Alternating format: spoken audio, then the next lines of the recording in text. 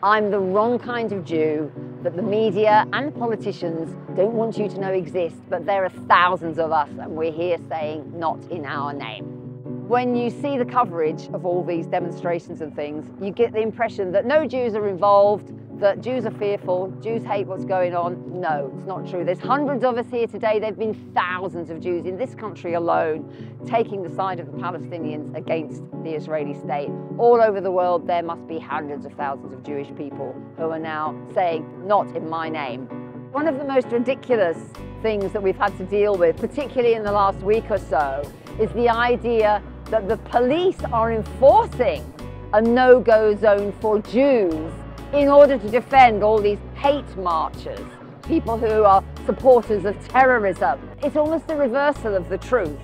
We are saying, along with most sensible people around the world, that everybody, Palestinians included, deserve to be free wherever they live, including between the river, Jordan and the Mediterranean Sea.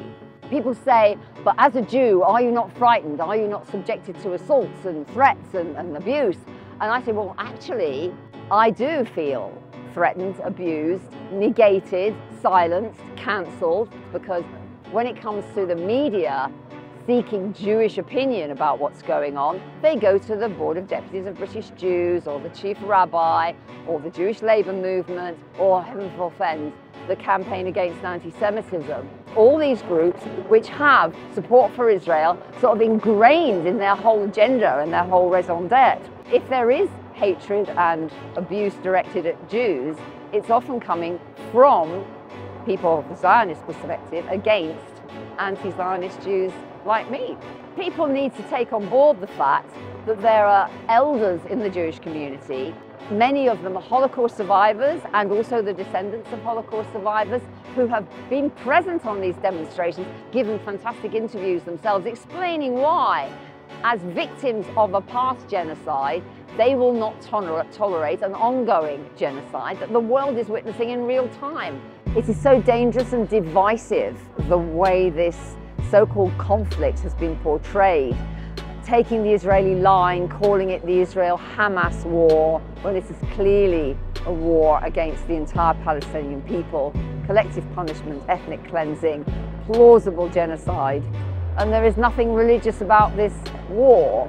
It is a war of settler colonialism against an occupied people. One of the little rays of hope in the current situation, and it's getting bigger, it's getting wider, it's getting brighter, is the growth of opposition to what Israel is doing. And it's happening across the world and it's happening among swathes of young people. Look at what's happening in American campuses. And of course, among the many young people who are coming out and saying not in our name and we won't tolerate it and trying to shut down arms factories and calling for an arms embargo are many, many young Jewish people. I've met a youngster today who's never been on a demonstration before. He's got family in Israel and gradually he's managed to, to sort of feel empowered enough, feel confident enough that he has to come and speak out alongside all these other people who are demonstrating for just peace and justice, really. It's not rocket science, is it? Over the last few weeks and months, we have seen once again that our media, by and large, takes the side of the oppressor against the oppressed. If you want to read and see information, views from people who are on the right side of history, then please support Double Down News on Patreon. Thank you.